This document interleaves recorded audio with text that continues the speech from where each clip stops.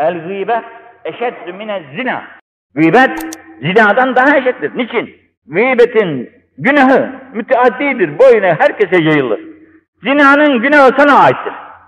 Zina yaptın günahın kendine aittir. Fakat gıybet yapmak suretiyle o kimsenin şanını, şerefini, şöhretini, nesini, neler ise neler hakkında söylüyorsan onu memleket hakkında, bütün insanlar hakkında onu rüsva ediyorsun.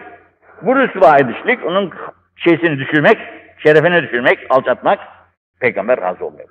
Gıybet yapmayacaksın kimse aslında.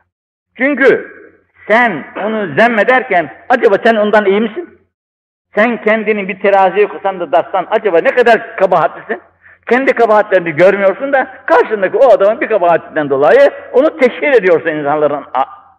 Kabahati teşhir etmek. Gıybet demek filandan şöyle fenadır, şöyle kötüdür, şöyle bir bazında küfrüne kadar gidenler de var maazallah. Filandan o o günahkar adam kafir oldu gitti bırakın onu diyenler de var. Halbuki bir Müslümanın küfrüne hükmetmek kadar tehlikeli, korkunç bir şey yok. Nasıl olur ya? İmam-ı Azam ne demiş?